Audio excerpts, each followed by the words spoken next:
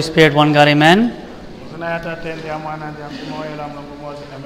Happy Feast of Transfiguration. Today, not many people know what's this feast about or why are we in church. And maybe some of you came to church today not knowing that there's actually a feast in the church today. And the Feast of Transfiguration is usually hidden inside the fast of St. Mary. So we don't see much or know much. And it might come during the week, not on Sunday, but this time it comes on Sunday, which is great for us to understand what is the Transfiguration Feast? It's a minor feast of the Lord Jesus Christ, where our Lord Jesus Christ went up the mountain of Transfiguration, the Mount Tabor, with three disciples. Does anybody remember the disciples' names? Let's say them together. First one is what? Peter and James and John. These three disciples are like the closest to Jesus, his close. They went up the mountain, and all of a sudden Jesus was shining brightly, exceedingly white. And also appeared two people from the Old Testament. Anybody remember those guys' names? Moses and Elijah. So now you have the three closest disciples and the two pillars of the Old Testament, Moses and Elijah. And they're all there with Jesus on the mountain and he's shining. We need to understand what's this mean for us. That's nice for them. They had a nice show over there. They had a nice event back then. What does it mean for us today? And that's what we'll talk about. lero tikhala wokondwera pali kusintha kwa ambuye yesu khristu ija siku yamene vanayenda ku lupili vali vatatu ma disciples na yesu khristu pamene vanayenda kudza ku lupili yesu khristu anakhala wosintha anakhala kuwala anavala kopitilira elo vantu vaviri vanabwera vaonekera kuchoka kumwamba kukhala mozesi na ndani na elijah ija siku yamene yesu khristu pamene anapemphera zova- zovala zinakhala zovala zonse zinachitika zinakhala zodabwisa so lero tili kusangalala kusintha kwa ambuye yesu khristu ija siku yamene ambuye yesu khristu vanakhala kuwala So we're starting in Mark 9, verse 2. If you have your Bibles, open them up. Mark chapter 9, verse 2 says, Jesus took Peter, James, and John and led them up on a high mountain apart by themselves. Here, Jesus took them. I want you to remember these words. Jesus took them up the mountain by them, apart by themselves.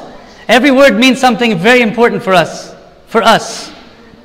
Jesus is trying to take us higher up the mountain by ourselves. Now, the key word here is Jesus wants to take us up. He took them up. They were willing to go higher with Jesus. Now, when our Lord Jesus Christ is looking at all of us today in the church, He wants to take us higher.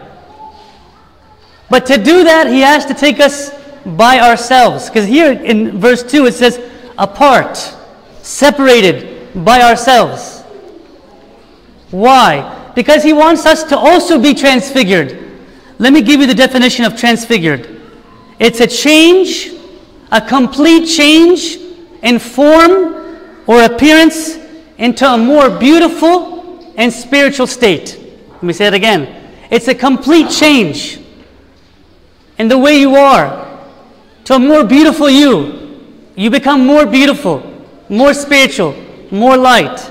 That's transfiguration. So when our Lord is saying, I want to take you up the mountain today to be by yourself, to be apart from the rest, He wants to make us into a more beautiful spiritual state. That's His goal for us.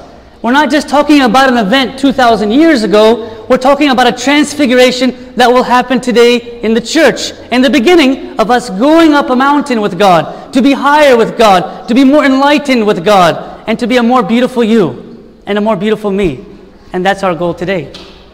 ati ngati kuwerenga mu ya marko chapter 2 chapter 9 verse ya 2 ilikamba ati yesu khristu anawatenga watatu waja kuyenda nawo pamwamba pa lupili anawatenga kuti wakakhale wekha pa lupili ati ni chani chitanthauza chani chitanthauza ati ambuye yesu kristu afuna lelo atitenge ife tikwezeke pamwamba kukhala tikhale wabwino wosiyanako zamene ambuye yesu kristu alikufuna. So chisangalalo chetu cha lero amene waitana ti transfiguration ikamba ati bwana tifunika kukhala wosinta. Kuchoka mwamene tilili tikhale wabwino wopitirira wabwino mu uzimu wabwino mu zochitika zamene ife tifunika kuchita mu moyo wathu Then I want you to move to verse 8. We're still in Mark chapter 9. Now we move to verse 8. At the end, it says, after everything was done, suddenly, when they looked around, this is the disciples, they saw no one anymore, but only Jesus. Only Jesus. Look, here's the goal. He's going to take us up the mountain by ourselves, away from everybody else, to be transfigured, to be a better you, a more beautiful you and me. But at the end, all we're going to see is not the problems, not the sins, not the weaknesses, not the mistakes, not that person who hurts me. All I'm going to see is Jesus. Who? Jesus. That's it. That's one of the goals of the transfiguration. So I'm going to tell you about three things today. I told you beforehand, so you can be ready. He's going to take us up the mountain higher by ourselves, and at the end, we're only going to see Jesus. These three things I'm going to break down for you right now. Number one, he took us up on the mountain higher. That's his goal, to transfigure us. But he's got to do that by ourselves, separated. I don't know. I know we don't like to be separated. We like to be with everybody, but we have to be separated. They were separated. And at the end, we're only going to see Jesus.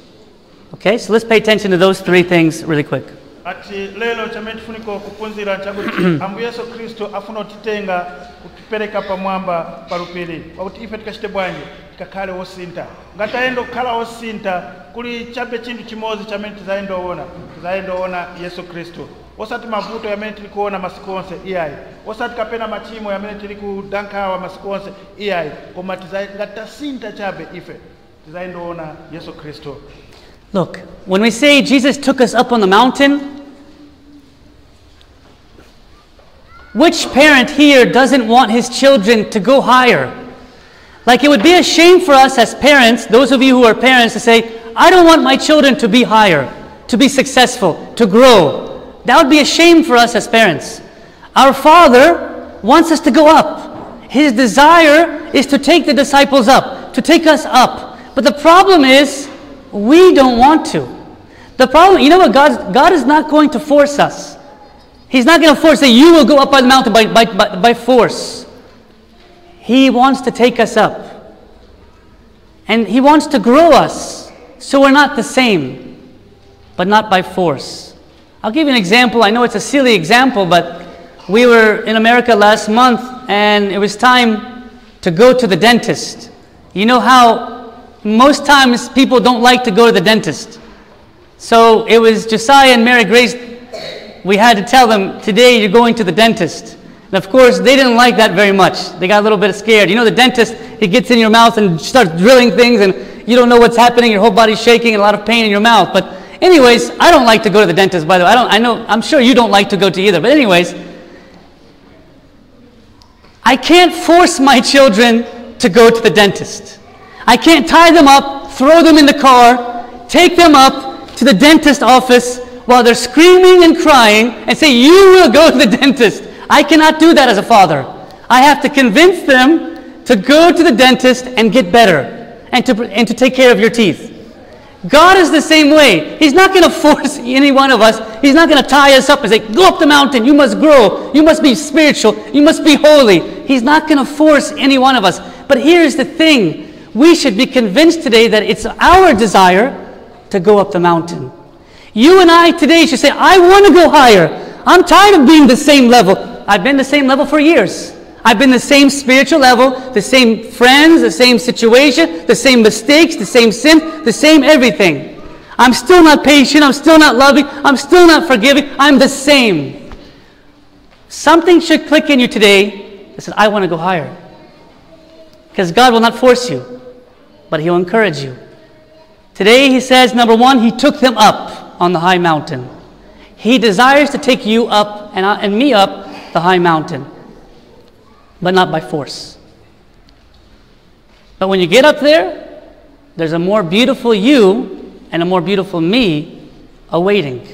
A more patient you, a more loving you, a more forgiving you, a more forgiving me. I would like to see Abuna Abraham, who is much higher and much kinder and much gentler than the one that is here now. And I'm sure you would like to see a more beautiful, spiritual you. That's transfiguration. That's what we're celebrating today. But the first step is He wants to take you up. Do you want to go up with Him? That's a question. Do you want to go up with Him? ati choyamba ambuye yesu afuna kutipeleka pamwamba elo sazatifosinga ife iyayi tifunika kukhala wofuna kuti tisinde mu moyo wathu ati chimozimozi wanapasa chisanzo kuti pamene wanali ku america ati wanaenda ku kuyendaona asing'anga kapena wadotolo. Kwa amene wanaenda kuja wanaenda kukhala banja yonse wanatenga wana wawo ero si kuwafosinga wana iyayi wafuni kuwawuza chifukwa wafuni kuyenda kuja. Kufunika ukala kukhala bwanji wakhale bwino. Waja vadokota wa, wamene wachita bwanji wasuka mmeno waja. Pamene vanayenda kuja vanati kuwasuka mmeno kuwachita bwanji kuti vakhale wa- wo- wokhala mmeno. So chimozimozi ambuye yesu khristu inu kuti muyende mukakhale wosinta iyayi kapena mukhale wosiya zamene muli kuchita iyayi koma ambuye yesu khristu afuna atitenge tiyende pamwamba. Kakuti ife tisinde mu zonse zoyipa kapena tisinde tikhale olungama So that's number one. He took them up on a high mountain. Number two, it says, He took them up on a high mountain apart by themselves. I want you to open the Bible with me in 2 Corinthians. 2 Corinthians chapter 6, verse 14 to 18. We're in 2 Corinthians chapter 6, from 14 to 18. This section, I'm not going to read it all, but I want you to read it all. It's 2 Corinthians 6 from 14 to 18. If you really want to go up the mountain and be, but you have to be apart by yourself, you have to be separate. There's something you have to do. Now, this one most people can't handle. Okay, Abuna, I want to go up the mountain. I want to be more spiritual. I want to be beautiful. I want to change. Isn't that right? Always, I want to change. I want to grow. But here's the key the Lord showed us to be transfigured, you got to be apart by yourself. And in 2 Corinthians 6 14 to 18, St. Paul is confirming that message. But we don't like to separate from certain friendships, certain bad habits, certain places we go. I don't know. Certain TV shows, certain things we watch on the internet. It's hard to separate ourselves. You kind of read through that at the end. God is trying to tell us it's either light or darkness. You're with Him or you're not with Him.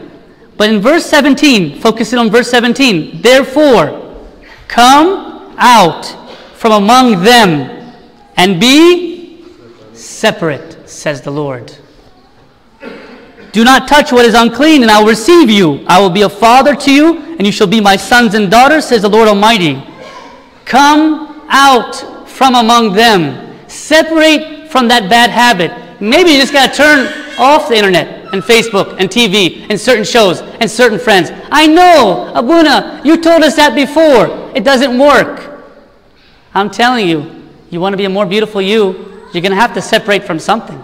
Someone, something. I don't know what it is for you. I know what it is for me. But here's key come out, leave, be separate. And then you'll see the beginning of a transfigured person, a more beautiful you, a more beautiful me. atingatawelenga mbuku ya wakorinto chapter 6 verse ya 14 kwenda kufika pa 18 I- itiuza ati tiye tichoke mu vaja tili kuziva vama- vamatisokoneza kapena muli vaja vamene tili kukondesesa kapena mu zonse zamene tilikukondesesa kapena ni mafacebook kapena ni zija zoyipa zamene tili kuonesesa nthawi zonse. Tiye tichokemo tikhale wochita bwanji? Wokhala wosiyanako ati chabe ngati tachoka muli vaja wathu tachoka muzija zonse zamene tili kuchita mu moyo wathu tizakhala wosinta. Umoyo wathu uzakhala wosiyanako. Ero chabe mufunika kuchoka muzija zinthu chabe ngati simuli kuchoka muzija zinthu simungakhale wosinta. Koma choyamba tifunika kuchita bwanji kuchoka kuti ife tiyende pamwamba tikhale wosiyanako. Parents, can I tell you a secret?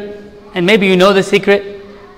The number one thing that's confessed on why people sin is because I have bad friends. Your children, and maybe some of the children who are sitting here, have a challenge that the people outside who don't walk with Jesus are overtaking us.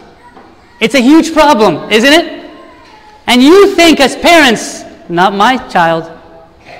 Sorry to tell you, all of our children have the same temptation that the outside pressures. Now, the problem is the outside pressures come into our house by our phone now. If your children have a phone, I promise you something is not right on that phone. And maybe you who are listening also something is not right. We got to come out from this phone. We got to use the phone for what it was used to back in the old days, calling people, not just staying on it day and night, getting ourselves into trouble. Come out from that. Come out from certain friendships. No, my son, my daughter has good friends. You sure?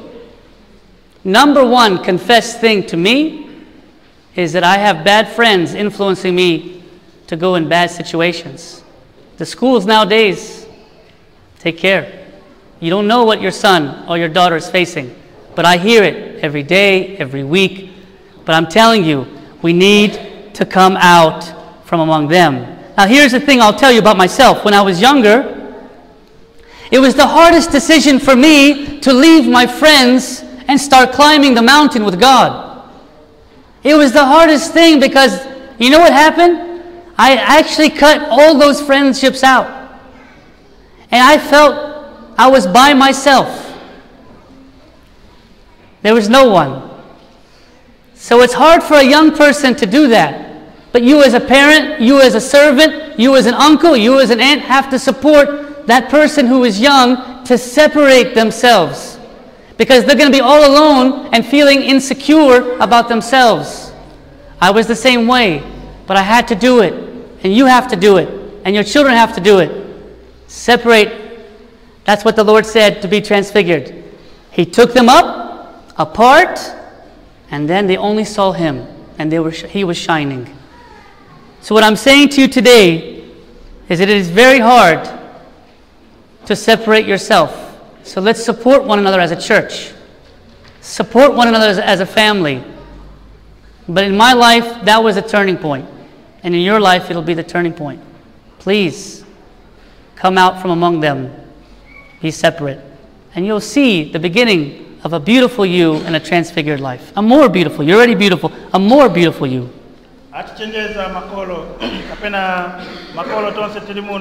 Tilina vana kumanyumba kapena vana sivabwera kuno kuchechi. Kapena tili kubwera nawepe kuna kuchechi. Vamayenda kusukulu kapena munawagulira foni zabwino zija zamene zina zovekaveka ni chani chili kuchitika pa zija foni vana?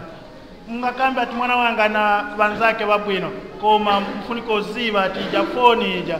Kudala yeze yotumira ma ku- kutumira vanzanu. Kapena kuvatumira o imwe kuno ninavuto yotere koma masiku yano foni ili dangerous manenge foni ili kuononga ana munyumba mavuto yalikubwera kupitira mufoni amene ija mwana wanu ali kuonongeka chimozimozi vapasa chisanzo pamene vanali wang'ono abusa vanali na vanzawo woipa vanzawo wochita zochitachita.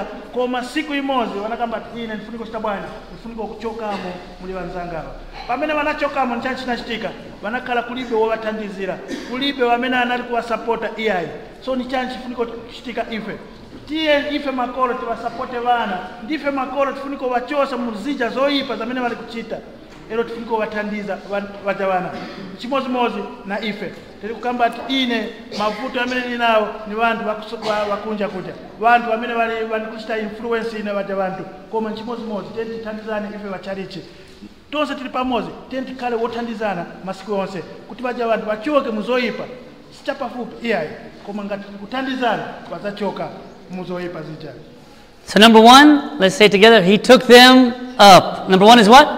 He took them up. Number two, apart by themselves. Number two, what's number one? He took them up. Number two, apart by themselves. And number three, only Jesus. What's number three? Only Jesus. And I know it seems extreme, That your life would be only Jesus. That your everyday would be only Jesus. That when you go to school, it's only Jesus. When you go to work, it's only Jesus. When you go home, it's only Jesus. But that's the transfigured life. That's what Christ died and resurrected so we can have only Jesus. That He's the first, that He's the main, that He's the focus of our life. And you say, no, no, no, I have Jesus in the church, and Jesus when I open the Bible for five minutes, and Jesus over there. No, no, only Jesus. That means you're transfigured. That means you're growing. The one who's not growing is that Jesus is there and Jesus is over there somewhere. No, Jesus is everywhere, and it's part of every part of your life. So, number three, it's only Jesus. Only Jesus. And let me, let me explain something here. In Hebrews chapter 12, verse 14. If you have a chance, open it up. Hebrews 12, 14. We talked about it this past Wednesday when we were talking about St. Mary. It says, Pursue holiness. Pursue holiness, or you'll never see the Lord. Same idea, right? He took them up on a mountain, but I have to go up the mountain. I have to pursue it. I have to want it. I have to be apart by myself. And it says in the end of Hebrews 12 14, you will see the Lord. And what I want to tell you is that you may never see the Lord. If you never have a desire or never make an effort to climb up the mountain to be with God, that you never separate yourself from something or someone. You'll never have only Jesus. You may have Jesus in small pieces. But it's going to be the key here. If you want to see Jesus, you got to pursue God, pursue holiness. If you don't believe Hebrews 12 14, would you believe Jesus' words? Open up Matthew, Matthew chapter 5, verse 8. You know it. Matthew 5, verse 8. I'll say it, say it with me if you know it. Blessed are the pure in heart, for they shall see. You know it. You can only have pure heart, holiness, up the mountain, transfigured life if you want to see God. Only Jesus. There's no other way. You can't, you can't buy yourself a chance to see Jesus. You can't pay money to see Him.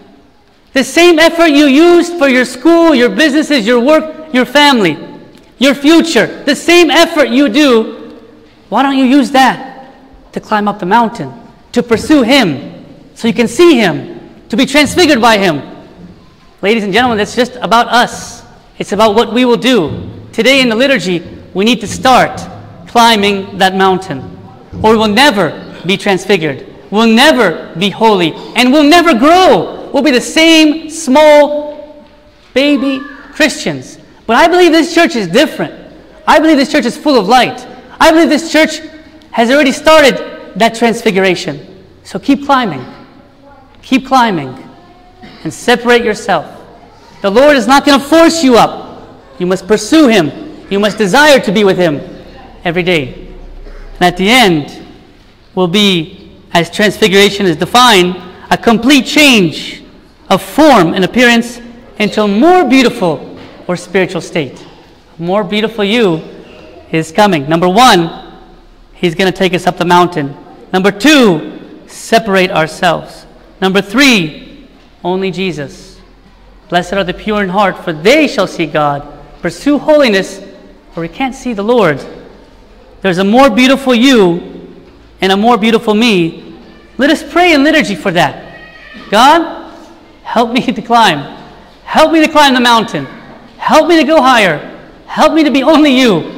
I know it's hard for some people to say, that's extreme, Abuna. It's not extreme. This is the way of life. What we're talking about today is a way of life. Happy Feast of Transfiguration. We thank the Lord for showing us what it means to be a more beautiful and spiritual state. Maybe He was foreshadowing His resurrection, but He was definitely foreshadowing our resurrection and our beautiful state and us shining.